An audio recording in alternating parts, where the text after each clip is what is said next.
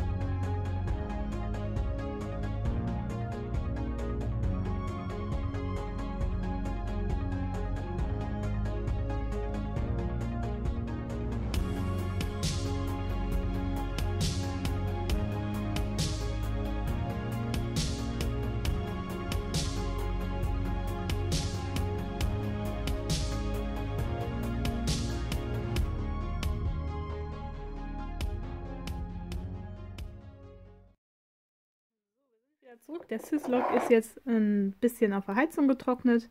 Das heißt, das Wash ist richtig durchgetrocknet. Ich habe vorher leider vergessen zu sagen, was ich verwende. Und zwar für alle grauen und schwarzen Stellen nehme ich ein schwarzes Wash und für die grünen Stellen ein braun-grünes Wash. Also auch hier darauf achten, wenn ihr euch für diese braun-grünen Töne entschieden habt, dass ihr da auch den entsprechenden Wash-Ton für habt. Ähm, ist auch bekannt als Military Wash, also nicht so dieses knallgrüne, sondern mit braun. Ihr könnt das sonst auch mischen, wenn ihr nur ein grünes Shade habt, da mischt grün mit einem bisschen braun, so in die Richtung Agrax, dann habt ihr das auch. So, das heißt, die Flächen sind jetzt soweit fertig. Ich werde jetzt gleich nochmal die ein oder andere ähm, Schuppe ein bisschen hervorheben, einfach nochmal highlighten, aber jetzt geht es hauptsächlich darum, der durch. Der wird jetzt in Metallfarben gemacht, das heißt, ich habe mir das Black Metal rausgesucht. Dann fürs erste Highlight das Thrash Metal und zum Schluss als Highlight-Ton ein Silber. Für die Krallen habe ich mir erst ein Arabic Shadow gesucht, also grundiert und dann das Highlight-Ton mit einem Tar Brown oder mit einem ähm, knochenfarbenen, also helleren Braun, dann das Highlight und dann noch für die Tasche haben wir hier noch einfach ein schönes Braun, was dazu passt. Und ähm, ja, dann machen wir das erstmal. Man sieht schon hier in der Ecke, das ist gelb, weil die Augen sollen nachher schön strahlend gelb werden. Und ähm, ja, die müssen wir dann auch noch rein detaillieren. Und dann ist der Sislog danach auch schon fast fertig.